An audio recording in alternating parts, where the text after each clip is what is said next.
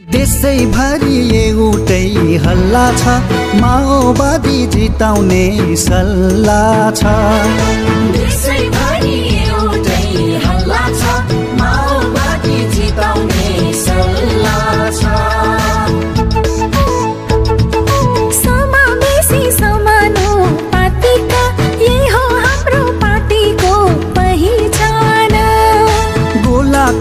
भित्रको हँसिया हथौडामा गरौँ है मतदान।